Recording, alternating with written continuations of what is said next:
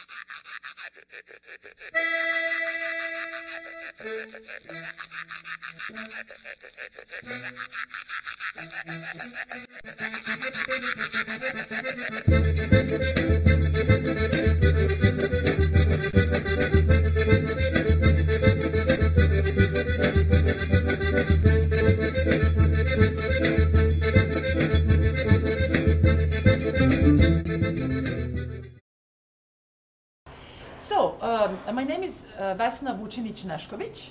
I'm professor of anthropology at the Department of Ethnology and Anthropology of the Uni- University of Belgrade, Serbia. The possible ways of developing this whole um, project, let's say, of, of uh, or thinking about the non-university education.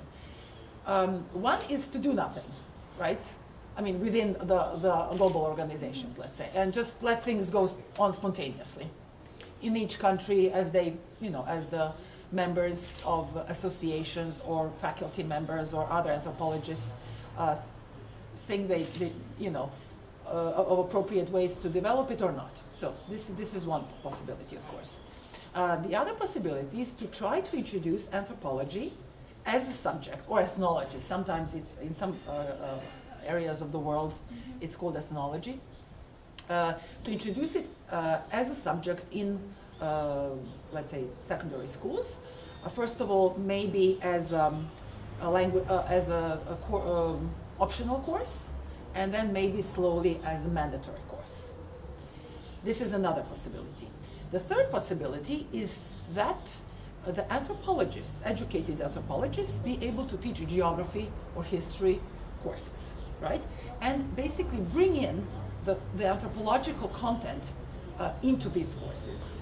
Uh, Because in many places nowadays, as you probably know, it is possible that within the mandatory curriculum of each course in, in high school, uh, the, the teacher, him or herself, can bring in some other content which can be recommended by the ministry or the school or uh, to be of his or her own choice, right?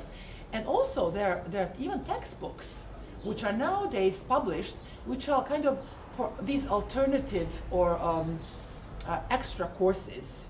Uh, for example, in Serbia, my colleagues have uh, produced textbooks for the first four years of elementary school, which can be used by, by uh, teachers to bring in some content. And there are even some exercise books where children you know, draw things or they're being acquainted with traditional ways of um, everyday life or, um, um, I don't know, preparing food or spending free time in the village and the, and the, and the city environments.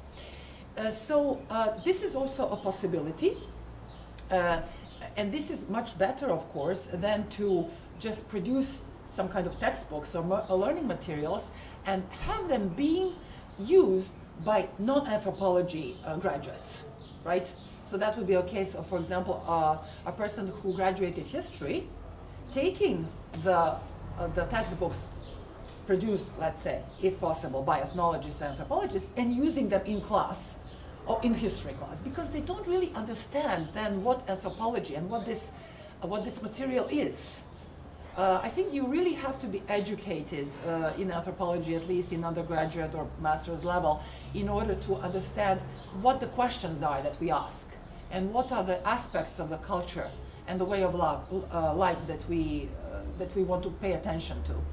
The fourth possibility would be to experiment, to, let's say, find um, schools uh, which would be able, or which would be wishing to implement some, uh, you know, educational program or part of the curricula, which would be, for example, coordinated by people from the nearby university, from the anthropology department, and which they uh, would let the anthropologists come in and maybe hold some classes or workshops or something like that. Now, there comes again this Petnica Science Center, which I would like to uh, tell something about. Uh, as, as, a, as far as I know, unique uh, alternative institution.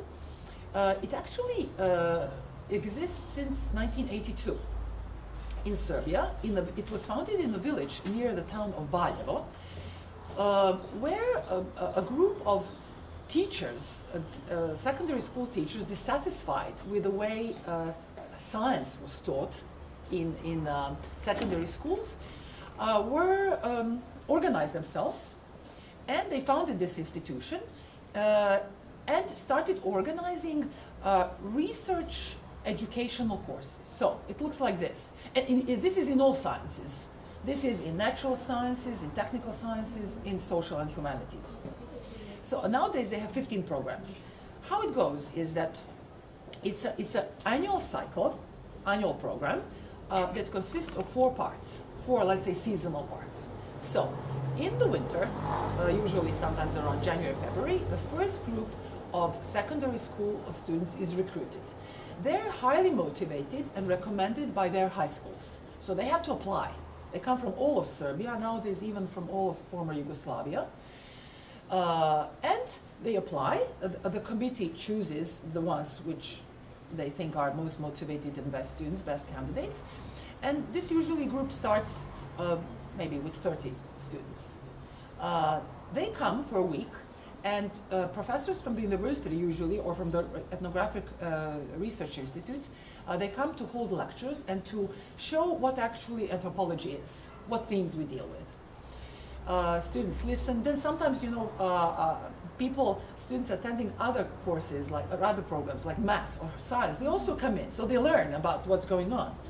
This is nice that they mix. And then after this a week, uh, basically, uh, students who get uh, become interested enough, they uh, decide to come again, and they uh, kind of start thinking about their own little research project.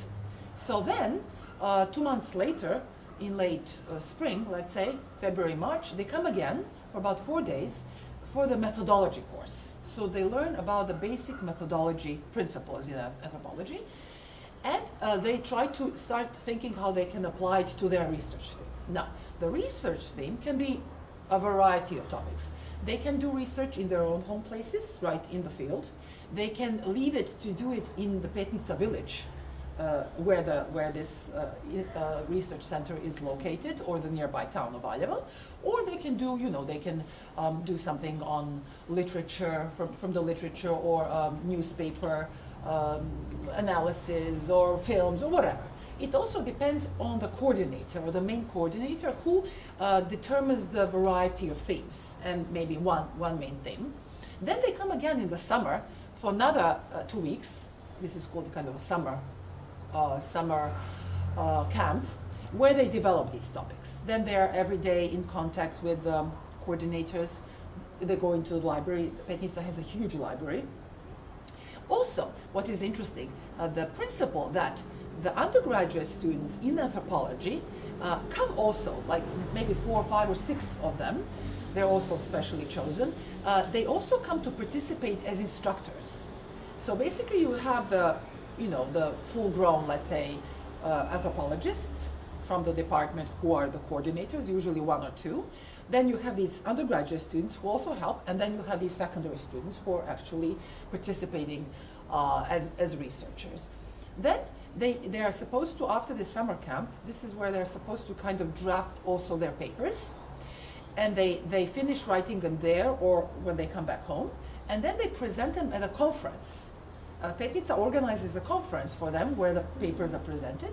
And the best papers, are, which are also uh, reviewed, uh, get published in the Petnica notebooks, uh, the journal. And then in the end, in the fourth session, uh, which is in the fall, sometimes in September, October.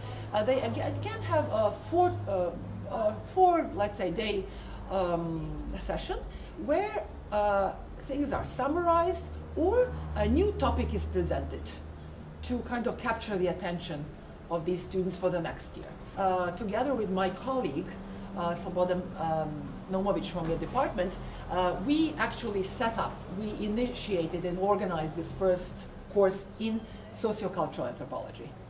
Uh, earlier on, it was interesting. They didn't have it, of course, and there was only the most uh, related um, courses were, I think, history, but archaeology also. So actually, the idea to invite us and to set up cultural, social cultural anthropology was by this uh, young colleague, an archaeologist, who actually was interested in the theory of anthropology, you know, and he wanted to bring anthropology there. Uh, this is not uh, this is also interesting for the Serbian context because we don't have this uh, four field method uh, uh, principle, like in the U.S., of having together within anthropology, uh, cultural anthropology, archaeology, sociolinguistics, and uh, what uh, sociolinguistics and what's ah, physical anthropology. We don't have such a system.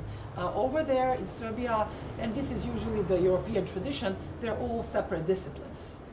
Uh, but I guess uh, this archaeologist was influenced by the, uh, maybe by the US probably approach and, and actually to the theory of anthropology, which is so useful for, for his field.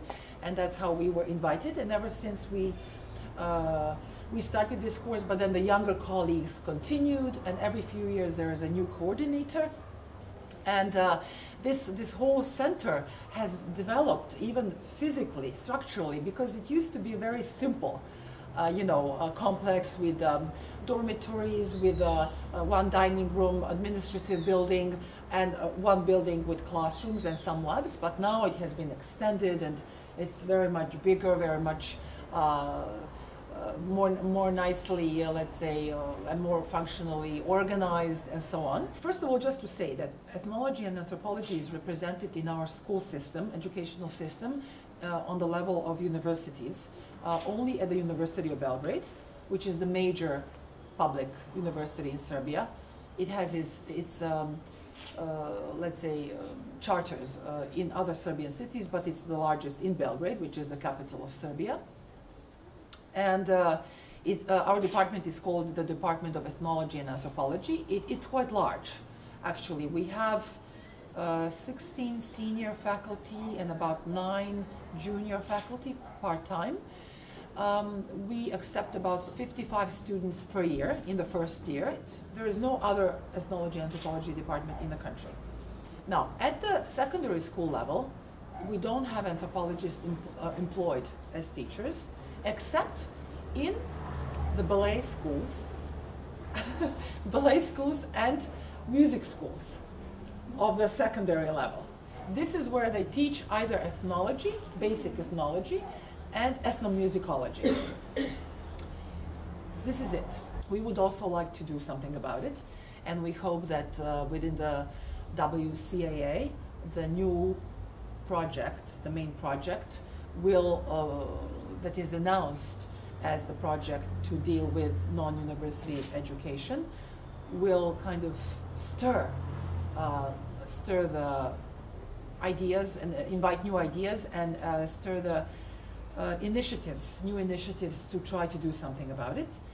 Um, what we were thinking of is that back my colleagues and I who are thinking about it at the department that uh, maybe it wouldn't be the best idea to, to try to push for anthropology or ethnology itself because people know about it, don't know about it, and the people in the ministry don't know about it really, what it does, why it's useful, and so on.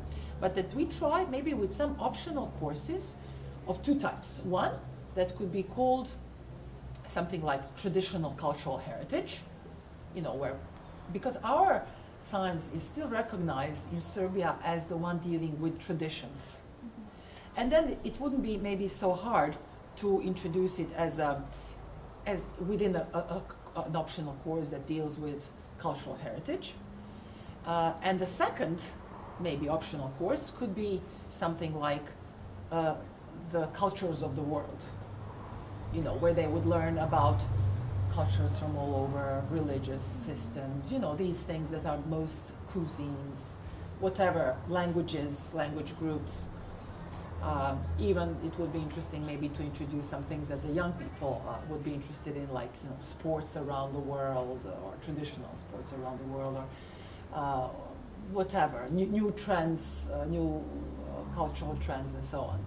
So we are thinking in those terms, but uh, we will see uh, how this whole initiative, global initiative, will develop, will develop within uh, WCA and the WAU as a whole, uh, as well as uh, how it can develop in our country itself and different countries.